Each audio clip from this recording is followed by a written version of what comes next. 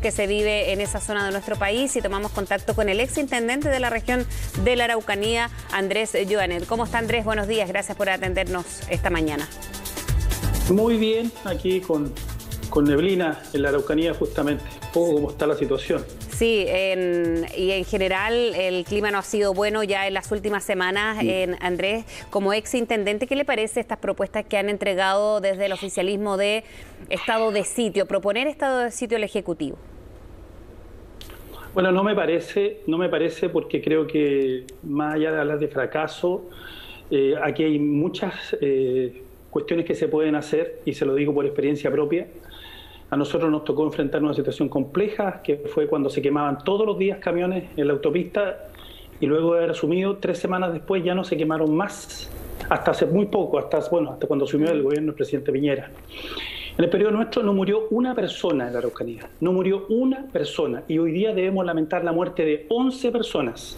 Camilo Castrillanca, Jorge Maulén, Juan Barrio, Moisés Orellana, Pablo Burgos, Pedro Cabrera Benadí, Eugenio Naín Cañumil, Orwell Casanova, Alberto Morales, Alberto Chaiquil y ahora, hace unos días atrás, murió Emilia Herrera. Eh, eh, cuando el presidente asumió, dijo que iba a restablecer el Estado de Derecho a la Araucanía. Lo han hecho todo mal. Comando Jungla, Plan Impulso, ministro Moreno prometiendo todo acá.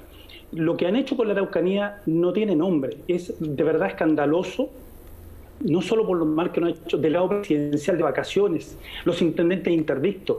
La verdad que la Araucanía requiere otro tipo de, instrumento. Comisión Asesora Presidencial lideraba José Vargas.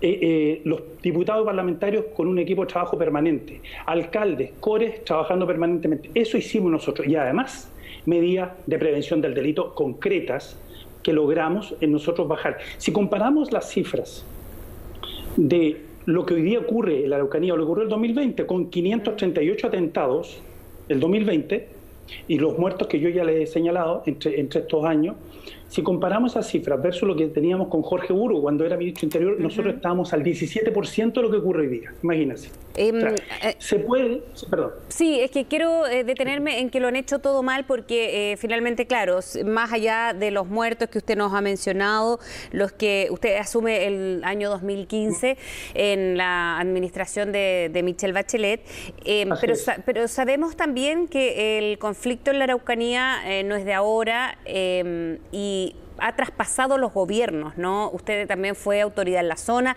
es nacido y a otros negocios, en fin. Entonces, eh, más allá de los gobiernos, por eso le digo, más, esto ha traspasado administraciones. Entonces, ¿cuál es una autocrítica que también se puede hacer que no se pudo solucionar tampoco cuando usted ocupó ese cargo o en la administración que, que antecedió a esta? O sea, nosotros podemos dar, lo señalo y, y pero nosotros podemos dar, mostrar los resultados. nosotros asumimos, yo reemplacé a Francisco Guanchumilla cuando la situación estaba eh, muy compleja, no olvide los camiones que fueron a la moneda. Nosotros no solo tranquilizamos la región, sino que generamos instancias de diálogo permanente y también bajamos el delito, eh, bajamos la delincuencia y bajamos los actos de tipo terrorista. Eso es objetivo. No, hubo muertes y generamos instancias de diálogo. Creamos, por ejemplo, en conjunto, ayudamos a crear las asociaciones de lonco, y hoy día hay una asociación de lonco regional y hay asociaciones de lonco locales. O sea, una serie de instancias que sería largo eh, señalar. ¿Para qué? Con eso bajamos y generamos un plan, y ese plan eh, se evacuó en lo que fue la Comisión Asesora Presidencial, que lideró Monseñor Vargas, una serie de, personas de los distintos mundos. Eh, por tanto, eso es lo que nosotros. Pero ¿qué es lo que, ¿cómo partió el gobierno? Partió, no se olvide, aquí señalando que, iban a, modificar la ley eh, antiterrorista, comando jungla y una serie de hechos. Bueno, yo creo que el gobierno no se lo ha tomado en serio, como en general el gobierno ha andado, han dado estos años, eh, han dado dando tumbo. Imagínense lo que pasó el 18 de octubre del 2019, ¿no? Hay un problema que tiene que ver con que nosotros a los carabineros nunca le quitamos la autoridad. Hoy día Carabineros no tiene autoridad en la región y en el país tampoco, ¿no? Aún, así, eh, Andrés, se, ha, se ha aumentado el número de efectivos, se ha dotado además eh, la vigilancia policial, se han dotado otros planes de policiales en la zona en los últimos días. ¿Cree usted que esto es em, lo adecuado y, oportuno para, para, evitar los hechos de, violencia? Eh, no, no, no porque no creo que se hayan aumentado más eh, el número de, personas. Eh, aquí hay, a lo menos, a lo menos, hay 400 personas que están, carabineros, perdón, eh, eh, quise decir personal, ¿no? De carabineros. Hay 400 carabineros que están hoy día cuidando predios, cuidando casas que han sido amenazadas, ¿no? Como punto fijo, que además es bien relativo, porque, porque el, el trabajo que hacen, la verdad, es a lo menos deficiente, ¿no? Eh, creo que también Carabineros tiene una responsabilidad, pero fundamentalmente el poder. No, no, no creo que, que, pase por ahí. Eh, si se ha aumentado hoy día en un 300% lo que le estoy diciendo, desde el año 2016-2017 a lo que ocurre hoy día, eh, creo que el gobierno tiene una responsabilidad. Pero también la Fiscalía, porque la Fiscalía finalmente no termina encontrando a nadie. O sea, aquí el Ministerio Público también tiene una responsabilidad. Y por otra parte, el legislativo también tiene que ser algo, no solamente eh, reaccionar. ¿Qué, dijo en su momento Evópolis? No, tenemos que hacer algo, nombren un delegado, nombra un delegado presidencial, nombra un delegado presidencial que, que además es ilegal, porque no existe esa figura, no existe la figura de una persona, eh, una persona que, no, que no, puede, no tiene mandato sobre la policía, por ejemplo. ¿no? Bueno, nombraron a Cristian Barra, ¿qué ha pasado? Nada, peor. ¿Entiende? Están los intendentes interdictos, porque son los intendentes los que tienen esta responsabilidad de mantener el orden, de, administrar la región. Por tanto, eh, Andrés Ollonet, ex intendente de la Araucanía, conversa a esta hora con nosotros respecto a este reforzamiento que ha hecho el gobierno para aplicar medidas en la Araucanía, evitar los hechos de violencia que han ocurrido las últimas semanas. Y en, ahí a propósito, señor Joanet, a esta hora una reunión con los otros poderes del Estado que se está abordando eh, también desde esta arista. ¿Le parece conveniente porque han hablado desde la oposición, de hecho, de lo que se necesita aquí un diálogo, eh, incluso un diálogo intelectual de incorporar Andrés, en, a, las propias comunidades, ¿no? más allá de aplicar estas medidas eh, policiales, que es lo que se ha acentuado.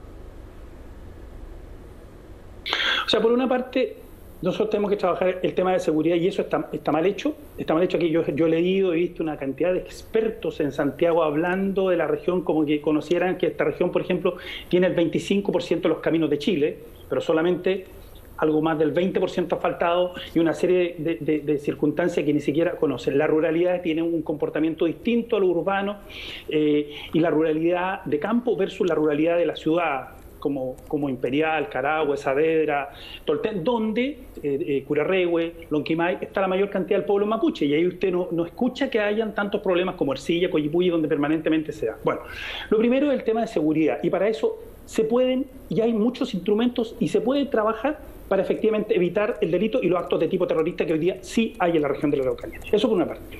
Pero por otra parte, hay que trabajar en una serie de cuestiones también eh, económicas. Esta es la región más pobre de Chile. El per cápita de la Araucanía es 8 mil dólares. 8 mil dólares. La gente lo pasa mal acá. La gente, eh, la gente no tiene cómo subsistir. Esta es la región más pobre de Chile, el índice de desarrollo humano más bajo. Y, y este gobierno lo único que ha hecho es parafernalia, fuegos artificiales, plan impulso. No existe el plan impulso. Dijo que a construir 10 hospitales, pero es verdad, pero los 10 hospitales venían desde atrás, venían del gobierno del presidente Bachelet. Y eso es lo que hace este gobierno. ¿ah? Entonces, eh, dijeron que iban a hacer eh, la consulta indígena. ¿Se acuerda usted qué pasó con la consulta indígena? ¿Qué pasó con Emilio Moreno y Emilio Singer, que hoy día es candidato presidencial? O sea, fracasaron y no pasa nada. Entonces, primero, tema de seguridad. Segundo, si usted me pregunta qué hacer, yo creo que nosotros tenemos que tomar, ver algunos modelos, por ejemplo, el modelo panameño de las comarcas que es muy interesante con, los con los buglé, los gunas, los o lo que hacen en Oaxaca, ¿no? con los mixtecas. Hay, hay una serie de, de modelos que nosotros podemos trabajar para superar el tema de las comunidades porque usted con 15 familias forma una comunidad mm. y, muchas comunidades vienen, eh, personas con apellido mapuches, vienen de Santiago o de, Temuco, van y empiezan a solicitar eh, tierra versus otras que efectivamente viven en la ruralidad. Nosotros tenemos que la ruralidad fortalecerla y la ruralidad mapuche y esa consolidarla. Por otra parte hay que traer inversión. Y para eso hay que franquiciar la región, lo hemos planteado hace muchos años. Aquí esto tiene que ser una zona franca para que las empresas vengan a invertir, porque el 80% de lo que, de lo que de los recursos de la región vienen del Estado, versus otras regiones que son al revés. Entonces, eh, yo creo que, lamentablemente no, no, no, le creo al gobierno, pues ya este gobierno está terminando, no tiene fuerza. Después del, 18 de octubre de, eh, de 2019, este gobierno ya quedó sin, sin posibilidad política y en la región de la Araucanía nunca se lo tomó en serio, ha fracasado y hoy día lo que a mí sí me extraña es que la propia derecha, que hacía, perdóname el concepto, garga respecto del, no Estado de Derecho que había, hoy día están bastante callados. Eh, hay mucha cosa de Estado de sitio, etcétera, porque fueron incapaces de gobernar eh, esta región. Y la verdad es que no se la han tomado en serio. Y eso es lo que a uno le duele, porque uno que vive acá, uno ve que esta región mm. se está desangrando y esta región se está confrontando, porque hay gente a la que le están tomando los campos, hay más de 60 campos tomados. En nuestro periodo estaba la CONAI tomada y la desalojamos. Estaban los campos tomados y los desalojamos. Em, ¿Sí? a, su parecer, bueno, y le preguntaba, eh, no, me respondió si le parecían estas instancias, por ejemplo, la reunión que está a esta hora en la moneda desarrollándose con otros poderes del Estado, y le pregunto inmediatamente después si estaría dispuesto como ex intendente quizás a entregar las propuestas que usted nos ha mencionado, junto a lo mejor con otras autoridades regionales que también son de la zona, conocen la zona y que podrían aportar, porque aquí el diálogo es, sin lugar a duda uno de, la, uno de los caminos y, transversal, más allá de los sectores políticos me refiero. O sea, el diálogo es democracia y por Dios, ¿cómo creo yo en el diálogo que nosotros generamos muchas instancias de diálogo? La Araucanía habla a 5.000 personas, pero ¿sabe que no le creo? Ya no le creo al gobierno. Nos invitó el intendente Manoli con muy buenas intenciones, yo creo que él es un, un hombre bien intencionado.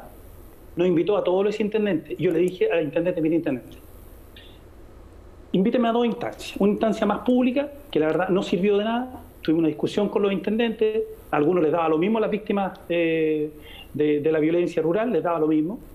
Eh, y, lo que se pretendía era, ah, eh, era cuando murió, ¿se acuerda? El, este, este joven carabinero Eugenio Naín. Mm. Y lo que se pretendía era callar un poco lo que estaba ocurriendo nos reunimos, no pasó nada. Yo, yo dije que yo, me, yo no me prestaba para una cosa, pero que sí estaba, estaba dispuesto a construir. Pero le dije al intendente, si quiere nos juntamos de forma privada, para yo entregarle algunos insumos porque en el fondo yo no le voy a entregar en términos públicos cuestiones que después se tergiversan, etcétera, porque nosotros hicimos todo dentro del marco de la ley y lo que nosotros demostramos con Jorge Burgo, que en el contexto del Estado de Derecho se pueden hacer cosas y nosotros tranquilizamos esta región y generamos crecimiento. El crecimiento que tuvimos promedio en ese, en ese periodo fue 7%, ahí están las cifras, ahí están las cifras de lo que hicimos. Bueno, yo creo que instancia de diálogo, yo estoy absolutamente dispuesto siempre. Si hay que conversar 101 veces lo voy a hacer, aunque me tomen el pelo aunque me tomen el pelo, le quiero decir. Mm. Porque yo noté que el encuentro de los intendentes fue una toma de pelo. Los que hemos estudiado este tema, los que hemos seguido trabajando en el tema indígena y en estos temas, no solamente aquí en Chile, entendemos lo que pasa aquí en la región y, podemos aportar de nuestra perspectiva con, con otros. Eh. Lo único que yo quiero decirle al gobierno es que el gobierno no se puede sentar, y ese es un error, con aquellos que generan la violencia. El Estado no se puede arrodillar frente a los que generan la violencia. El Estado lo que tiene que hacer es restablecer y darle garantía y seguridad. Y en este país, quiero decirle que, teme un segundito, el Estado está debilitado y eso se ve en las poblaciones donde el narcotráfico hoy día campea y aquí en la Araucanía. Bien, Andrés, muchísimas gracias por haber hablado con nosotros. Que tenga buen día. Gracias a usted. Igualmente. Chévere. 10 de la mañana,